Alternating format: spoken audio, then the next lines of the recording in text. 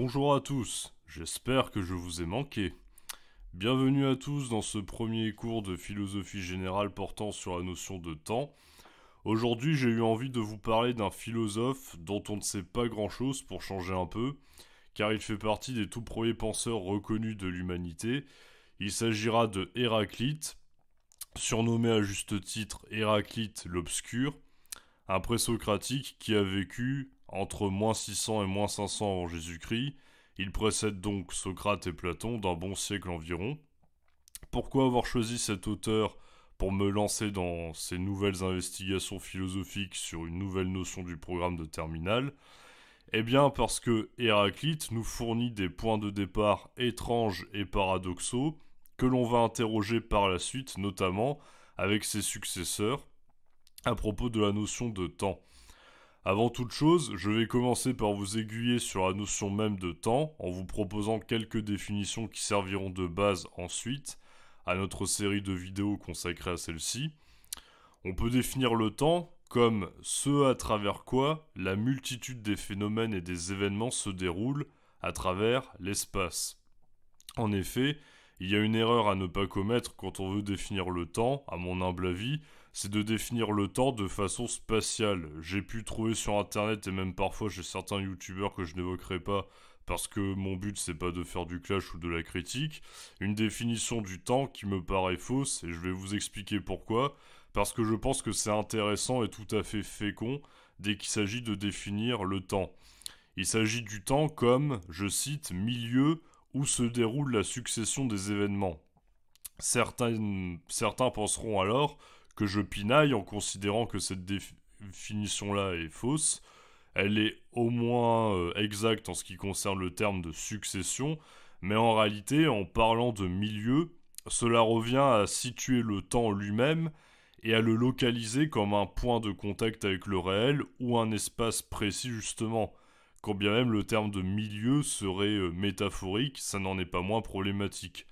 Le temps n'est pas euh, un espace, justement, et il ne se réduit pas à l'espace, ni à un espace localisé ou localisable, car, comme je l'ai dit, il est distinct de l'espace et complémentaire à celui-ci. Si on a coutume de penser l'espace comme un agrégat de matière, le lieu des événements concrètement parlant, alors le temps, justement, est la succession même de ces événements à travers l'espace. Par exemple, si je dis que je suis en train d'enregistrer cette vidéo le mardi 19 octobre le soir chez moi, l'espace ça sera chez moi, tandis que le temps ça sera la date et l'heure que j'aurai indiqué. Bon, jusque-là ça va, c'est pas trop compliqué je pense. Il y a donc une définition du temps qui va nous servir de point de départ et qui n'en demeure pas moins problématique et difficile à penser. C'est celle de temps comme succession continue d'événements à travers l'espace. Eh bien justement, euh, donc cette définition-là déjà, elle est euh, un, peu, complexe. Le problème, c'est de savoir si le temps est réductible au mouvement, justement. Et Dieu sait euh, qu'Aristote s'est bien, pris la tête là-dessus dans sa physique. Évidemment, la raison pour laquelle Aristote définira dans sa physique le temps comme le nombre du mouvement, ce qui revient à dire qu'il est une mesure établie pour quantifier le mouvement observable à l'œuvre dans la nature. En réalité, si on entre dans le détail, c'est vraiment très complexe, mais je tenais euh, à m'arrêter sur ce point brièvement, parce que bien souvent cette phrase est balancée comme ça sans être un minimum expliquée. Ça revient euh, en tout cas à dire que le temps serait une euh, certaine mesure. Ça permettrait d'établir des mesures à travers la succession de ce qui se produit. Voyez Vient alors la nécessité de définir le temps comme durée si la succession en question est relative à un mouvement qui peut être nombré et segmenté en unités de mesure, par exemple secondes, minutes, heures, journées, mois, années, siècles, etc., par ordre de grandeur. Le temps, comme unité de mesure, fera donc office de durée mathématique servant à instaurer des mesures, tandis qu'il sera considéré comme le temps dit vécu sous l'angle de la durée intime.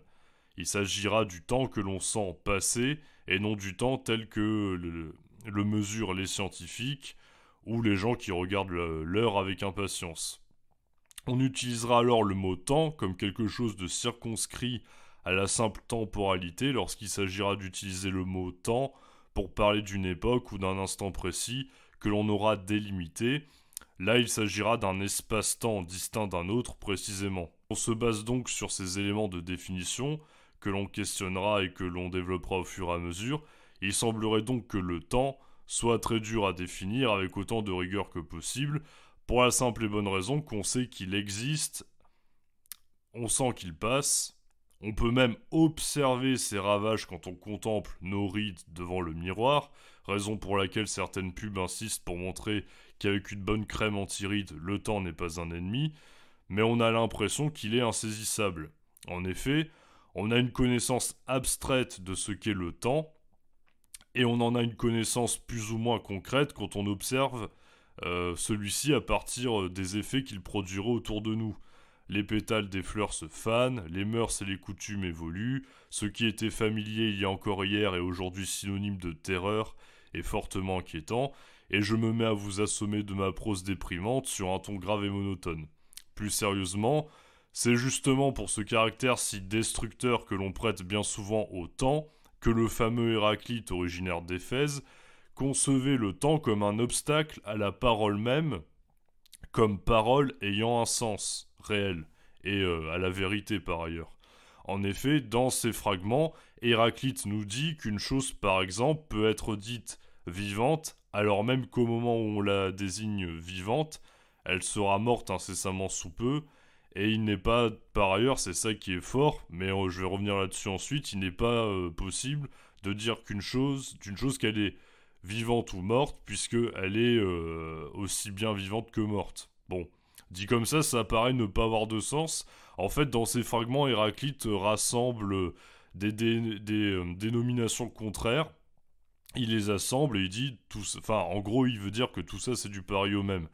Eh ben, on va voir que justement, c'est lié à la manière très particulière qu'il a de définir le temps et qu'en fait, euh, même si c'est un peu poétique, ça a un sens qui est tout à fait profond et véritable. C'est pour cela euh, que la principale source des écrits d'Héraclite provient d'un poème qu'on lui attribue et de divers fragments qui auront été recomposés ensuite pour essayer de donner une unité à son œuvre. Héraclite avait en effet la réputation de vivre en ermite et d'être un solitaire grognon qui parlait le plus souvent en énigmes, tel le père Fouras, ou en poésie justement, d'où son surnom de Héraclite l'Obscur. Héraclite est principalement décrit par Platon et Aristote comme le théoricien d'un mobilisme universel. En gros, d'après cette théorie, tout est en mouvement permanent et perpétuel, et puisque tout est en changement perpétuel, rien ne sert de se prononcer sur ce qui est, puisque ce qui est ne demeure jamais et ne peut être saisi à travers des termes qui sont censés figer une chose dans une détermination concrète. Par exemple, si je dis regarde ce chat, je ne m'en rends pas compte, mais entre le moment où j'ai dit le mot chat et le moment où j'ai terminé de montrer ce chat à mon ami, ce chat a déjà subi un changement imperceptible dont je ne me suis pas rendu compte. Héraclite pense donc que tout est amené à devenir toujours autre qu'il n'est. Le temps est donc à la fois synonyme de succession et d'altération pour ce dernier. C'est pour cela que Héraclite dit dans ses très célèbres fragments il s'agit des fragments 12 et 49A. L'ouvrage, c'est fragments au pluriel, hein, c'est une compilation euh, commentée. Eh bien, euh, bon, vous connaissez peut-être d'ailleurs sûrement euh, ces fragments. L'idée qui y est inscrite, c'est que l'on ne se baigne jamais deux fois dans le même fleuve. En réalité, Héraclite, en utilisant la métaphore du fleuve pour parler du temps comme devenir, se sert d'une image, et l'image étant figée, à l'inverse du monde pris dans un perpétuel devenir, elle permet, dans le cadre du langage poétique qu'il utilise, de suggérer ce qu'est le temps. Hein, pour plus de précision sur cet aspect-là, je vous renvoie mes vidéos sur le langage, notamment le métalangage chez Bergson. Il y, a des, affinités intellectuelles et philosophiques entre ces, ces auteurs, alors qu'ils se situent très très loin l'un de l'autre. Un fleuve, c'est un grand cours d'eau qui s'écoule de façon continue. Si on s'y baigne dedans, une fois, il est évident que l'eau du fleuve y est renouvelée en permanence, puisque le fleuve coule, il s'écoule en permanence, et que la fois suivante, il ne s'agira plus à proprement parler du même fleuve. Et justement, c'est ça la question qui convient de se poser à propos de cette thèse bien connue et souvent mal connue de Héraclite. Est-ce bien exact que le fleuve change en permanence et que, par analogie, le temps est composé d'une succession d'instants qui empêchent la moindre forme de stabilité. Eh bien en fait, pas tout à fait, c'est plus complexe que cela chez Héraclite justement, car ce dernier a construit une réelle métaphysique derrière, métaphysique qui a fortement inspiré les stoïciens par ailleurs.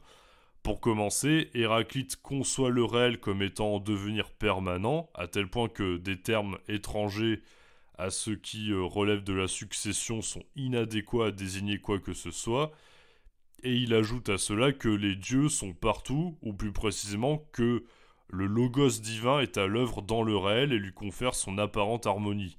Hein, le, terme de logos divin est utilisé par Héraclite. Bon, personnellement, je trouve que c'est très, euh, très confus euh, de parler de logos, mais euh, en tout cas, bon, dans la manière dont on peut le définir, on peut dire qu'il y aurait une parole, un logos avec un grand L, donc une parole, un langage de Dieu, des dieux, qui serait à l'œuvre dans le monde monde dont Héraclite conçoit la naissance et la mort à partir d'un élément primordial, le feu. Ce qu'il faut comprendre par là, c'est que euh, les dieux eh euh, organisent et agencent le réel d'une certaine manière à partir des éléments euh, naturels primordiaux et qu'ils se trouvent à l'œuvre en permanence dans le déroulement des événements. Donc vous comprenez en quoi ça a fortement influencé les stoïciens. Chez Héraclite, les trois éléments naturels à la base de toute chose sont l'eau, le feu et l'air, et notre âme est composée elle-même d'eau, et c'est euh, le langage divin immanent au monde qui confère à celui-ci son harmonie. Sachant que pour Héraclite, c'est à partir de ce feu primitif dont est né le monde que les éléments naturels tels que la terre, la mer ou l'air sont nés. Ce feu primitif est très important car il va jouer un grand rôle en termes d'inspiration par rapport à ce que les stoïciens nommeront la palingénésie, puis Nietzsche bien plus tard l'éternel retour. En fait, pour Héraclite, le temps n'est pas simplement que du devenir, car il y a une harmonie entre les contraires, et c'est pour cela que Héraclite, aux grandes dames d'Aristote, ne respecte pas le principe de non-contradiction. On comprend mieux pourquoi Héraclite ne voit pas la pertinence dans le fait de dire d'une chose qu'elle serait vivante ou morte, euh, c'est pour ça que j'utilisais cet exemple auparavant. Donc là maintenant je vous explique pourquoi. En fait, une chose est à la fois vivante et morte, elle est les deux, car l'un participe de l'autre, la vie participe de la mort et inversement, de même que ce qui paraît vrai ou faux à un autre instant. En effet, puisque tout est amené à naître et renaître de ses cendres, à naître d'un feu primitif et premier, puis à mourir de nouveau, en étant de nouveau consumé par ce même feu, lors de ce que l'on nommerait communément la fin du monde, eh bien cela n'a pas de sens de dire d'une chose qu'elle est ceci ou cela, puisque la succession temporelle qui est à l'œuvre dans le monde la fera devenir perpétuellement autre, mais ce de manière stable. On pourrait donc dire que Héraclite a une conception du temps qui est à la fois, c'est pour ça que je vous dis que c'est vraiment paradoxal, qui est à la fois continue discontinu et cyclique. Continu parce que tout ce qui se produit se situe dans un prolongement et avec une certaine harmonie. Discontinu parce qu'à chaque instant le monde est en mouvement et change sans même que l'on se rende forcément sans même qu'on se rende forcément compte. Et cyclique parce que tout ce qui change en permanence est amené à renaître et à remourir. D'une même façon, une fois que tout périra de nouveau par ce feu primitif qui a donné naissance au monde aux différents éléments naturels qui le composent. C'est ce feu qui met à mort le monde, qui le fait périr, et c'est par ce feu qu'il renaît. Tout va en se dégradant, et le temps est destructeur, on pourrait le dire, mais il n'est pas essentiellement destructeur, justement. Cette destruction est comprise dans un cycle amené à se renouveler. Par conséquent, le temps n'est pas que destructeur, il est aussi, on peut le dire, reconstructeur à terme. On pourrait dire, puisque, puisque rien ne périt définitivement, et que chaque changement est compris dans un perpétuel éternel recommencement, qu'il est lui-même à la fois destructeur, reconstructeur. C'est pour cela que Héraclite nous dit en ces termes mystérieux que tout est un et que un est tout. tout est unique, et l'unique est compris dans une totalité amenée à renaître selon un certain cycle. Le feu qui a fait naître notre monde périra et renaîtra nécessairement. Deux critiques de cette magnifique théorie, très métaphysique cela dit, sont à retenir et vont nous servir de transition. Tout d'abord, et c'est le sens de la critique que fait Aristote dans sa métaphysique et dans sa physique à propos d'Héraclite, on pourrait se dire que Héraclite n'est pas un monstre de précision, en même temps c'est pas le but, contrairement à Aristote qui se galvanise de ça, dans la mesure où le caractère altérant et différentiel du temps lui sert de prétexte pour confondre les contraires, la vie, la mort, euh, le présent, le passé, et ça Aristote ça l'énerve beaucoup, et surtout que du coup ça ne permet euh, pas de penser plusieurs formes de mouvement, puisque tout est compris dans un espèce de flux, dans un espèce de mouvement universel, le fameux mobilisme universel. Raison pour laquelle Aristote distinguera notamment le changement selon la qualité, qui concerne l'altération justement, la fleur pousse, croît et meurt, et le changement, notamment par exemple selon le lieu, le temps n'étant qu'une mesure servant à nombrer ce qui est en mouvement, comme je l'ai dit précédemment.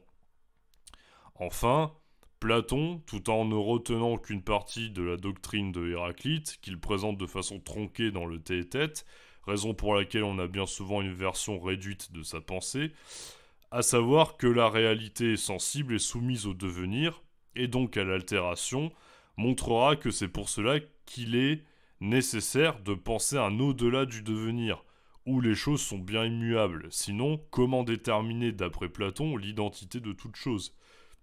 L'identité provenant pour lui, non pas de, des contraires, puisque la contrariété, la différenciation euh, tue forcément, d'après Platon, la possible coïncidence avec soi-même et donc l'identité, l'identité provenant des idées intelligibles dont participent les choses, je le rappelle au cas où, et qui appartiennent à une dimension spirituelle qui est juste par ailleurs, euh, on pourrait le dire, extratemporelle.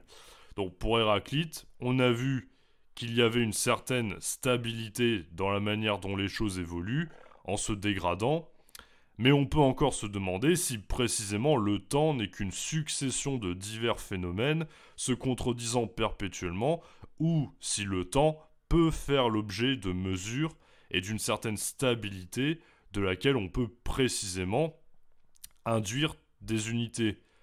Pour le dire autrement, le temps s'oppose-t-il donc par nature à ce qui serait perpétuellement immobile, l'éternité, et le temps se réduit-il à un devenir incessant dont l'instabilité rendrait impossible l'élaboration de repères chronologiques réels. C'est ce que l'on étudiera la prochaine fois en revenant à un auteur maintes fois abordé sur cette chaîne. En attendant, j'espère que cette vidéo vous aura plu et que vous aurez peut-être appris des choses sur ce philosophe mystérieux.